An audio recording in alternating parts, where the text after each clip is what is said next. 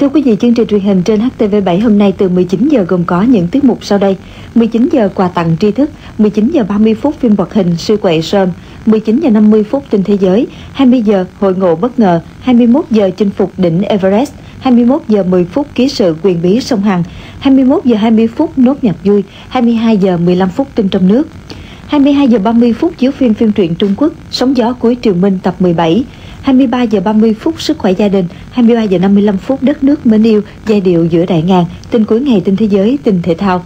Chương trình truyền hình rạng sáng ngày 20 tháng 12 gồm có 0 giờ 40 phút chiếu phim phim truyền Đài Loan Thiên thần tuyết tập 19 1 giờ 30 phút cuộc sống quanh ta rối loạn hệ tiêu hóa. 1 giờ 55 phút thế giới đó đây bí mật đảo phục sinh. 2 giờ 45 phút chiếu phim phim truyền Trung Quốc vượt qua thử thách tập 18 3 giờ 30 phút tài tử Cải Lương Hương Đồng Quê. Bây giờ xin mời quý vị và các bạn theo dõi chương trình.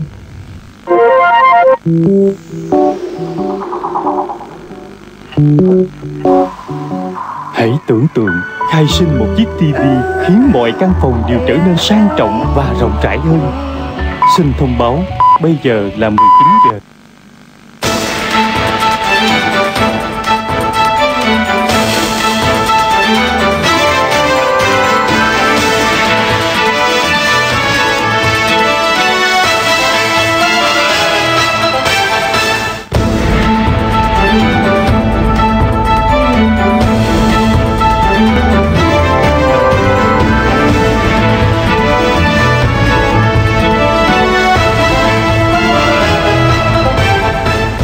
chào mừng quý vị và các bạn đang đến với chương trình quà tặng tri thức.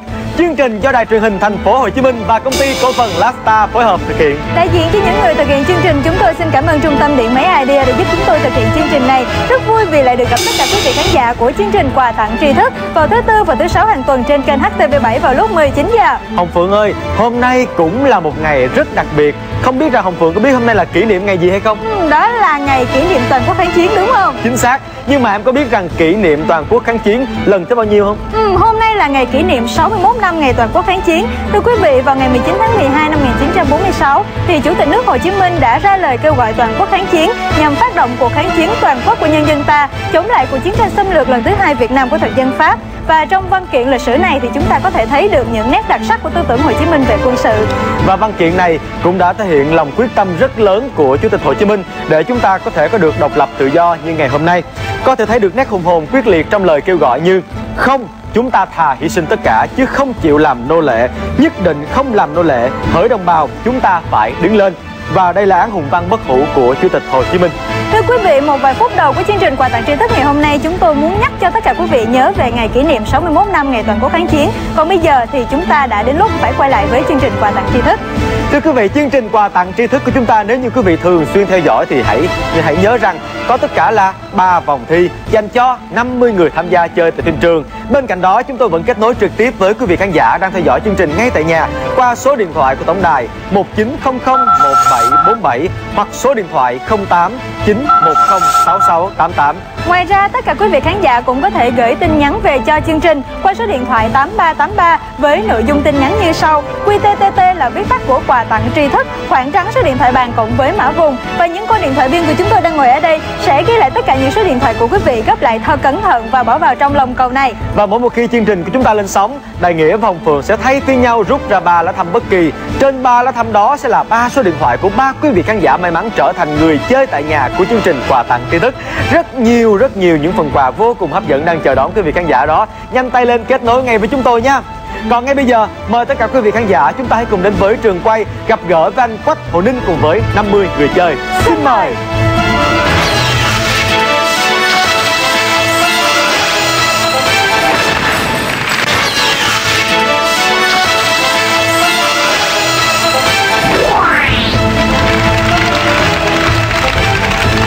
à, kính thưa quý vị và các bạn chúng ta lại gặp nhau trong chương trình quà tặng tri thức. À, chương trình quà tặng tri thức rất mong trở thành à, người bạn thân thiết đem đến niềm vui cũng như chia sẻ những kiến thức phổ thông đến với quý vị xem đài vào mỗi tối thứ tư và thứ sáu hàng tuần. À, bây giờ thì à, chúng ta sẽ đi vào vòng 1 của trò chơi. Xin mời quý vị hãy chứng kiến phần tham gia trò chơi của 50 bạn đang có mặt tại trường quay ngày hôm nay. Xin chào mừng tất cả các bạn. À, tôi thấy các bạn à, cười rất tươi gương mặt các bạn rất rạng rỡ. Chắc là các bạn rất là tự tin rồi. À, hy vọng rằng các bạn sẽ thành công ở vòng một này. À, trước khi tôi đọc nội dung câu hỏi vòng 1 thì à, tôi xin nhắc các bạn về cách thức chúng ta tham gia trò chơi. Đến với quà tặng tri thức thì chúng ta có 3 vòng. Mỗi vòng các bạn sẽ trả lời một câu hỏi. Nếu như bạn nào trả lời đầy đủ cả ba câu của ba vòng thì các bạn sẽ nhận được phần thưởng là 15 triệu đồng có một điều tôi phải nhắc các bạn là chúng ta có 10 giây để suy nghĩ và 3 giây để lựa chọn đáp án. Chỉ trong vòng 3 giây thôi. Để lọt qua giây thứ tư là máy tính sẽ không ghi nhận câu trả lời của các bạn. Nào, bây giờ chúng ta sẽ đi vào nội dung câu hỏi vòng 1 khi dọn cơm, người Nhật xếp đũa như thế nào? A, theo chiều dọc bát cơm. B, theo chiều ngang với bát cơm. C theo chiều dọc trên miệng bát D theo chiều ngang trên miệng bát 10 giây suy nghĩ. Bắt đầu.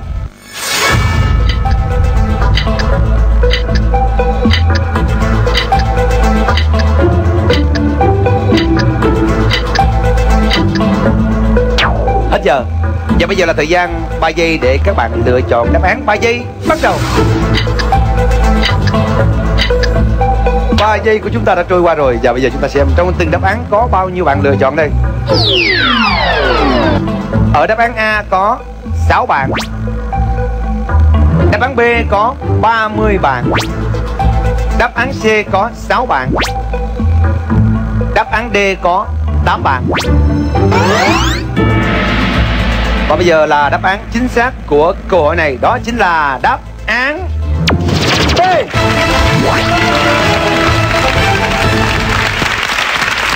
Khác với người Việt Nam, người Nhật có truyền thống từ lâu đời là xếp đũa theo chiều ngang trên bàn ăn. Xin chúc mừng 30 bạn đã chọn đáp án B. Các bạn được bước tiếp vào vòng trong và xin nói lời chia tay với những bạn đã không chọn đáp án B.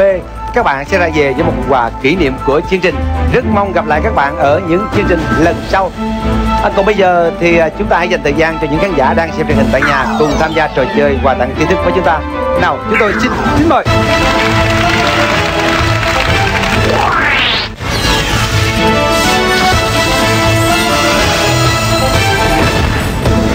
Thưa quý vị, câu hỏi đầu tiên là một câu hỏi về một nét văn hóa rất phổ biến của người Nhật Bản và 30 người bạn của chúng ta đã trả lời thật xuất sắc câu hỏi này. Xin chúc mừng cả 30 người bạn của chúng ta. Còn ngay bây giờ thì chúng ta hãy cùng tìm xem vị khán giả nào là vị khán giả đầu tiên trở thành người chơi tại nhà của chương trình quà tặng tri thức. Anh Nghĩa sẽ làm nhiệm vụ của mình đó là quay lòng cầu và chọn ra phiếu thăm may mắn đầu tiên của chương trình ngày hôm nay. Có rất nhiều những phiếu thăm trong lòng cầu nhưng mà anh Nghĩa của chúng ta chỉ được chọn một phiếu mà thôi. Có rồi đây. Mời Hồng Phượng. Và bây giờ chúng ta sẽ cùng xem ai là vị chủ nhân may mắn đầu tiên của số điện thoại đây.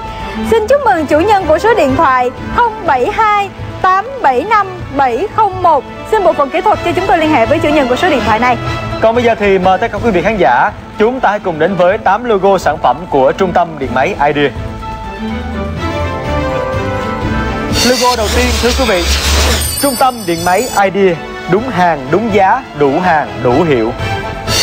Logo thứ hai Samsung không có gì là khó tưởng tượng Logo thứ ba, Sony, riêng một bản sắc. Thứ tư Toshiba tiên phong trong công nghệ Logo thứ năm, Hitachi, cảm hứng tương lai. Logo thứ sáu Sanyo luôn vì môi trường Logo thứ bảy, LG, cuộc sống tốt đẹp. Và logo số 8 Olympus tầm nhìn của bạn tương lai của chúng tôi Đó chính là 8 logo sản phẩm của trung tâm điện máy Idea thưa quý vị và đằng sau 8 logo này đó là 8 phần quà sẽ dành tặng cho quý vị khán giả. Tùy theo quý vị khán giả lựa chọn logo nào thì sẽ được nhận phần quà đằng sau logo đó nếu như trả lời chính xác câu hỏi của chương trình đưa ra. Còn bây giờ thì chúng ta sẽ cùng làm quen với vị khán giả may mắn đầu tiên của chương trình ngày hôm nay Alo, xin chào vị khán giả may mắn đầu tiên ạ À, xin chào Đại Nghĩa và cô Hồng Phượng. Xin, Xin chào, anh anh ạ. ạ. Anh hãy tự giới thiệu về mình ạ À, cũng có tham gia chương trình à, quà tặng kiến thức. Rồi nay cũng à, cũng đúng vui cũng à, nhờ mong chương trình đó giúp đỡ à, để tôi có được phần quà của chương trình. Có Vâng, điều phần quà hay không thì tùy thuộc vào sự lựa chọn của anh. Trong bốn đáp án mà chúng tôi sẽ đưa ra. Nhưng mà bây giờ trước tiên thì đại nghĩa muốn mời anh lựa chọn một trong tám logo ở đây nhé. À chọn uh, Hitachi á. Logo Hitachi. Hitachi. Mình xem phần quà là gì nào nồi cơm điện tử Hitachi dung tích 1 lít có men chống dính nấu hẹn giờ. Nồi cơm điện tử này sẽ thuộc về anh nếu anh đáp đúng câu hỏi của chương trình. Và bây giờ xin mời anh lắng nghe câu hỏi. Câu hỏi như sau. Khu di tích nơi có núi Cát Mát và suối Lenin thuộc địa phương nào ở nước ta có bốn sự lựa chọn? A. Lạng Sơn B. Điện Biên C. Lai Châu. Giấy dành cho anh bắt đầu. Nhanh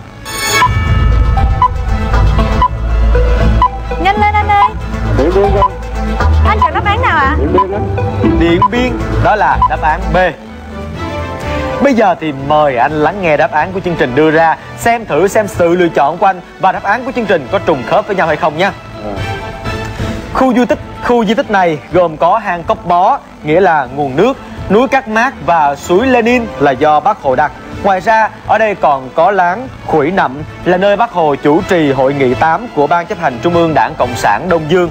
Các địa danh trên thuộc khu di tích lịch sử Bắc Bó, xã Trường Hà, Hà Quảng, Cao Bằng. Như thế là đáp án đúng của chúng ta phải là đáp án D Cao Bằng chứ không phải là Điện Biên. Đáp án của anh đưa ra đã không đúng với đáp án của chương trình Có lẽ là bây giờ anh đang rất tiếc phải không ạ? à Ừ, có lẽ là ngày hôm nay anh hơi thiếu may mắn một tí nhưng không sao Hồng vẫn hy vọng rằng anh sẽ có thêm may mắn nhiều hơn nữa trong những chương trình lần sau Xin cảm ơn anh đã đến với chúng tôi tối hôm nay Tạm biệt vị khán giả may mắn đầu tiên trong chương trình ngày hôm nay. Chúng ta hãy cùng trở lại với trường quay gặp gỡ Văn Quách Hổ Ninh cùng với 30 người chơi. Xin mời!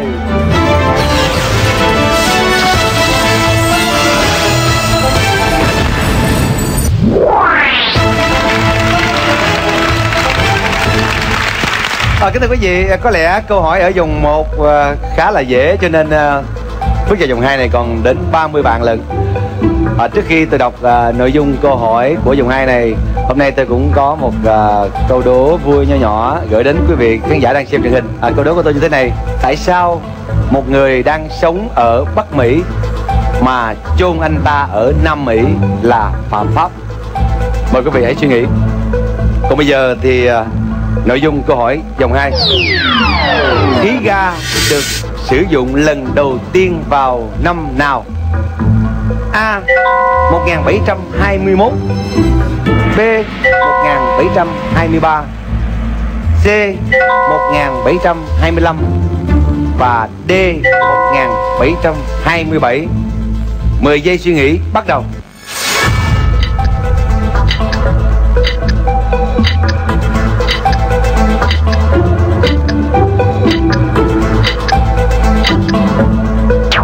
Hết giờ và bây giờ là thời gian 3 giây để các bạn lựa chọn đáp án. 3 giây, Bắt đầu.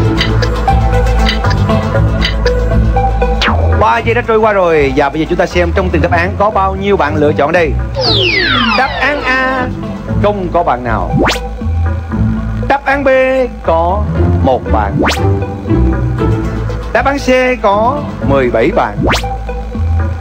Đáp án cuối cùng, đáp án D, có 12 bạn. Bây giờ là giây phút quyết định xem bao nhiêu bạn được bước tiếp vào vòng 3 Đáp án chính xác đó chính là đáp án Cuối cùng đáp án D.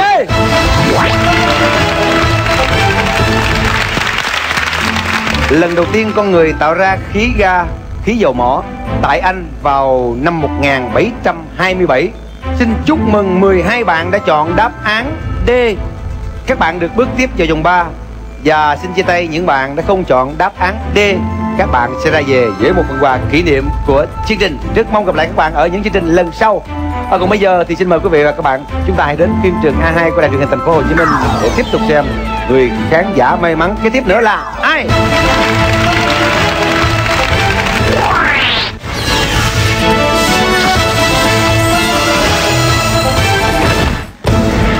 Quý vị khán giả đã trở lại với phim trường A2 để cùng Đại Nghĩa và Hồng Phượng tiếp tục tìm xem vị khán giả may mắn thứ hai của chương trình ngày hôm nay. Thế nhưng trước khi đến với vị khán giả này, chúng ta hãy cùng nhau chúc mừng cho 12 người bạn được với không Hồng Phượng? Ừ, xin chúc mừng cả 12 người bạn và xin chúc cho cả 12 người bạn của chúng ta sẽ cùng trở thành chủ nhân của phần thưởng 15 triệu đồng. Còn bây giờ thì Đại Nghĩa sẽ tìm vị khán giả may mắn thứ hai. Quý vị đừng rời khỏi màn hình nha, chỉ trong chốc lát mà thôi.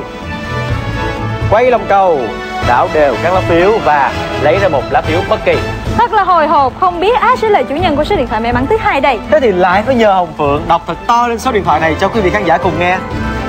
Hồng Phượng xin được chúc mừng chủ nhân của số điện thoại 08402 1470.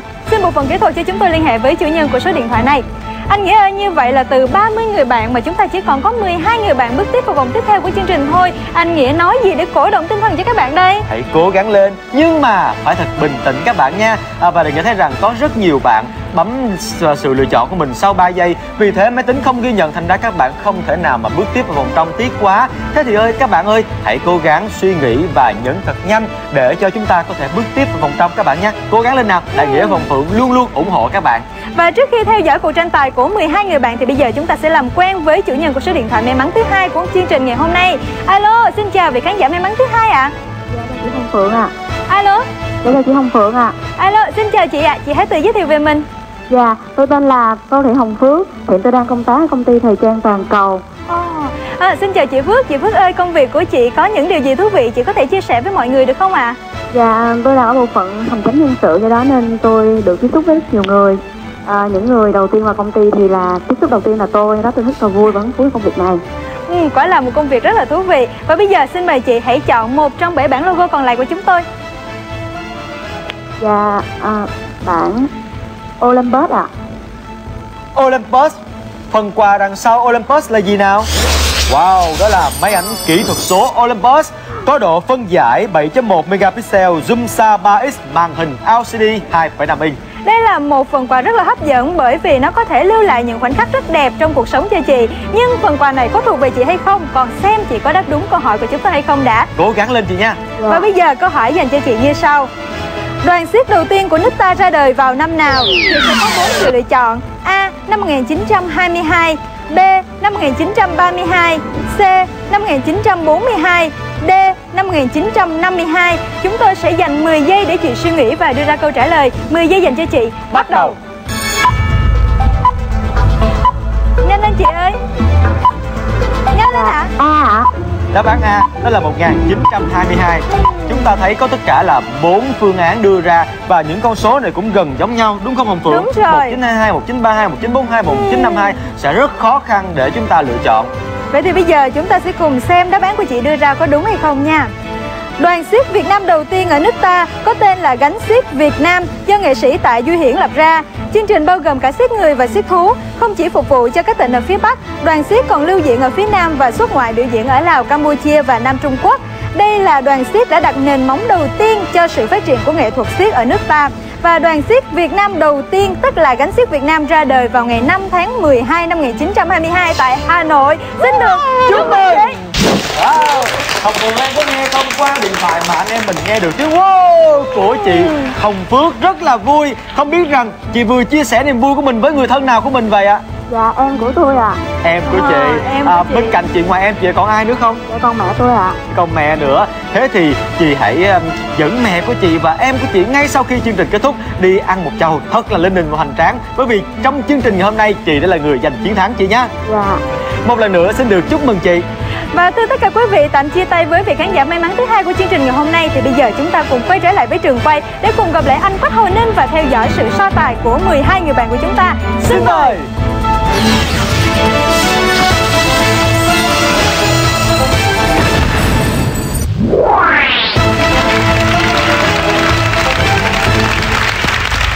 Và bây giờ chúng ta sẽ cùng 12 bạn bước vào vòng 3 của chương trình để xem sẽ có bao nhiêu bạn là chủ nhân của phần thưởng 15 triệu đồng. À, trước khi tôi đọc nội dung câu hỏi vòng 3 này, chúng ta hãy dành cho các bạn ấy một phút để thư giãn. À, và bây giờ chúng ta sẽ nói chuyện với người bạn à, ngồi ở máy số 39. À, xin chào bạn. Chào anh Hồ Ninh và chào quý vị khán giả. Bạn ơi, bạn có thể giới thiệu cho mọi người một chút xíu về mình đi nào? Dạ em tên là Nguyễn Hoàng Trúc Bình Đang học uh, trường Đại học Sài Gòn Khoa Khoa học xã hội. Như vậy thì um, khi tốt nghiệp ra trường á thì um, cái nghề nào là nó phù hợp với cái ngành mà bạn đã học? Dạ khi tốt nghiệp ra trường em sẽ làm uh, giáo viên dạy môn ngoại ngữ. Hồi nãy á, tôi uh, có hỏi uh, quý vị khán giả một câu đố vui Tại sao một người đang sống ở Bắc Mỹ mà chôn anh ta ở Nam Mỹ là phạm pháp? Dạ tại vì anh ta không có giấy tờ gì ở uh, Nam Mỹ hết à à, Theo ý bạn là vậy Thì mà câu trả lời của tôi là thế này Và tôi hỏi rất rõ các bạn không chú ý Tại sao một người đang sống ở Bắc Mỹ mà chôn anh ta ở Nam Mỹ là phạm pháp? Vì sao vậy? Vì người ta đang sống mà chôn người ta thì chôn bất cứ chỗ nào đều phạm pháp cả Đúng không nào? Rồi, cảm ơn bạn rất nhiều. Bây giờ thì uh, mời bạn uh, cũng như uh, những bạn còn lại hãy nghe nội dung của câu hỏi vòng 3. Câu hỏi của chúng ta có nội dung như sau. Vòng chung kết World Cup bóng đá nữ tổ chức vào năm 2003 là lần thứ mấy? A. Lần thứ nhất B. Lần thứ nhì. C. Lần thứ ba. Và D, lần thứ tư. 10 giây suy nghĩ, bắt đầu.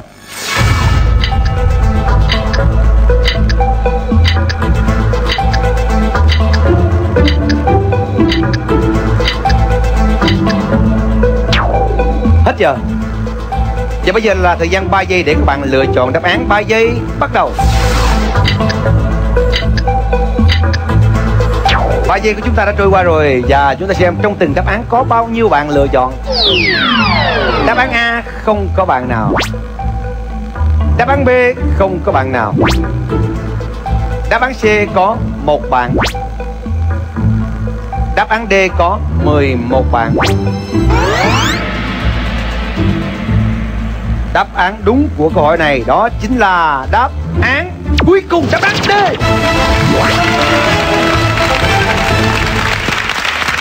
Vòng chung kết World Cup bóng đá nữ được tổ chức lần thứ nhất vào năm 1991 tại Trung Quốc. Đội Mỹ vô địch. Lần thứ nhì được tổ chức vào năm 1995 tại Thụy Điển. Đội Na Uy vô địch. Lần thứ ba được tổ chức vào năm 1999 tại Mỹ và đội Mỹ vô địch. Năm 2003, giải World Cup, bóng đá nữ được tổ chức lần thứ tư. Xin chúc mừng 11 bạn đã trở thành chủ nhân của phần thưởng 15 triệu đồng. Và rất là làm tiếc phải nói lời chia tay với một bạn đã không chọn đáp án D. Bạn sẽ ra về với một phần quà kỷ niệm của chương trình. Và còn bây giờ thì chúng ta hãy chờ xem vị khán giả may mắn cuối cùng của tối hôm nay là ai nào.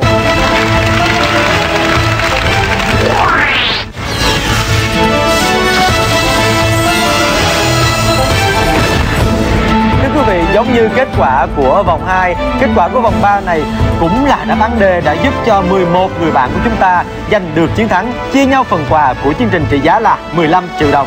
Còn bây giờ thì chúng ta sẽ đi tìm xem ai sẽ là chủ nhân của số điện thoại may mắn thứ ba của chương trình ngày hôm nay. Tại nghĩa là làm công việc này thôi, quay lòng cầu và sẽ chọn ra một lá phiếu bất kỳ.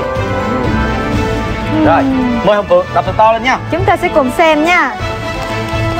Xin chúc mừng chủ nhân của số điện thoại 0897818842 và xin một phần kỹ thuật cho chúng tôi liên hệ với chủ nhân của số điện thoại này. Thưa quý vị, bình thường thì quý vị thấy rằng Đại Nghĩa và Hồng Phượng thay phiên nhau uh, rút ra những lá phiếu trong cái lòng cầu này. Nhưng mà ngày hôm nay Hồng Phượng ăn hiếp Đại Nghĩa lắm quý vị. Từ đầu chương trình đến giờ chỉ đứng một chỗ mà thôi Và không chịu làm công việc của mình để cho Đại Nghĩa phải làm công việc đó từ đầu chương trình tới bây giờ. Thưa quý vị, bởi vì anh Đại Nghĩa thường nói với Hồng Phượng rằng là anh Đại Nghĩa rất là may mắn. Bất kỳ một phiếu thăm nào anh Nghĩa bóc á, thì đều cái người đó đều trả lời trúng câu hỏi của chương trình cả. Vì vậy ngày hôm nay Hồng Phượng nhường luôn cả tất cả những quyền may mắn của mình cho anh Nghĩa. Nhưng mà thưa quý vị rất tiếc là vị khán giả may mắn đầu tiên đã không đáp đúng câu hỏi của chương trình. Nhưng mà người khán giả thứ hai đã đáp đúng câu hỏi của chương trình và nhận phần quà rồi. Biết đâu người khán giả thứ ba này sẽ là một người may mắn thì sao? Chúng ta hãy cùng trò chuyện Đúng nha. rồi. Alo, xin chào vị khán giả may mắn thứ ba của chương trình ngày hôm nay. Alo, alo chào chị Hồng Phượng. Xin chào bạn, bạn hãy giới thiệu về mình thế nào? Dạ tôi tên Nguyễn Vĩnh Phú đang học trường giao thông 3 à.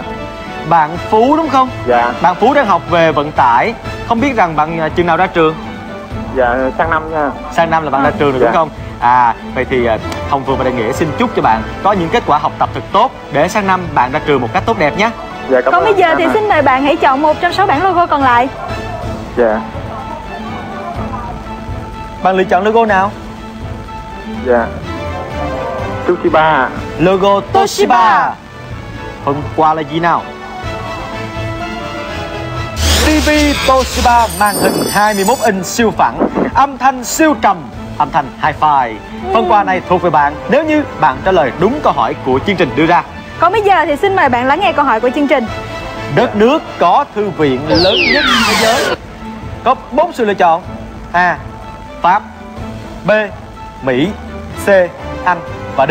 Trung Quốc Bạn có 10 giây suy nghĩ và đưa ra câu trả lời 10 giây bắt đầu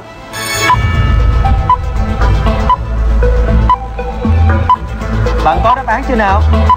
Nhanh lên bạn ơi Dạ đáp án B à Đáp án B đó là Mỹ Dạ, Vì B. sao bạn nghĩ rằng à, Mỹ là một đất nước có thư viện lớn nhất thế giới? Có lẽ là bạn suy đoán đúng không? Dạ Tại vì nghĩ Mỹ là đất nước ờ, đất nước thành lập lâu đời rồi Ừ, và bây giờ chúng ta hãy cùng xem sự siêu đoán của bạn có chính xác hay không nha Bạn Phú thân mến, thư viện lớn nhất thế giới có trên 125 triệu tài liệu bao gồm sách, băng ghi âm, các bức ảnh, bản đồ, bản thảo vân vân. Thư viện rộng đến 265.000 mét vuông, tổng chiều dài các giá sách tới 856,5 km. Thật là lớn đúng không? Và thư viện lớn nhất thế giới này chính là thư viện của Quốc hội Mỹ. Xin chúc mừng! Bạn Phú ơi, bây giờ bạn cảm thấy như thế nào nào? Dạ rất vui rồi rất vui Rất vui đúng không? Một chiếc TV Toshiba sẽ thuộc về bạn Và nếu như bạn nhận chiếc TV này Bạn sẽ đặt nó ở đâu trong căn nhà của mình? Alo? Alo Dạ trong phòng của em à À, trong phòng hy vọng rằng chiếc TV này sẽ mang đến cho bạn nhiều điều thú vị hơn nữa trong cuộc sống của mình. Xin cảm ơn bạn đã đến với chương trình của chúng tôi ngày hôm nay. Thưa quý vị, như thế là vị khán giả may mắn cuối cùng của chúng ta cũng đã nhận được phần quà của chương trình Hồng Phượng Thanh nói đúng không? Anh là người may mắn chứ mà Ừ, nhưng mà dù sao thì trong những chương trình lần sau anh Nghĩa cũng phải nhường lại quyền may mắn cho Hồng Phượng chứ. Được thôi Thế là 30 phút thật vui trong chương trình quà tặng tri thức của chúng ta ngày hôm nay Xin được tạm dừng tại đây Đại nghĩa Hồng Phượng cùng với tất cả những người tham gia thực hiện chương trình Xin được nói lời tạm biệt với quý vị khán giả Và đại diện cho những người thực hiện chương trình, chúng tôi xin cảm ơn Trung tâm Điện Máy Idea đã giúp chúng tôi thực hiện chương trình này. Và quý vị khán giả nào đã trúng thưởng trong chương trình ngày hôm nay Đừng quên liên lạc ngay với công ty cổ phần Lasta số 292 Đường Phan Xích Long, quận Phú Nhuận Để nhận phần quà dành cho mình nha. Hẹn gặp lại quý vị và các bạn trong chương trình quà tặng tri thức phát sóng vào tối thứ sáu Lúc 19 giờ trên kênh HTV7 Xin chào tạm biệt và Hẹn gặp lại. Nhân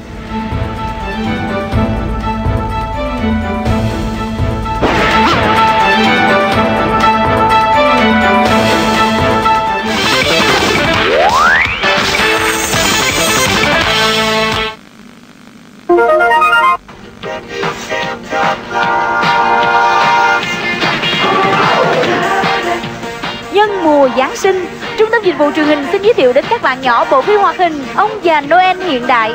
Đây là bộ phim hoạt hình vui nhộn, đầy tính giáo dục và sẽ là món quà lý tưởng cho các em. Phim hoạt hình Ông già Noel hiện đại hiện có bán tại cửa hàng Trung tâm Dịch vụ Truyền hình Đài truyền hình Thành phố Hồ Chí Minh 27 29 Quỳnh Thúc Kháng quận 1, điện thoại 914 7538.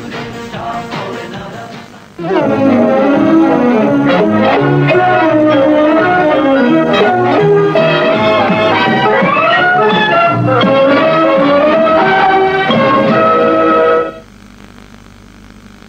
check this out.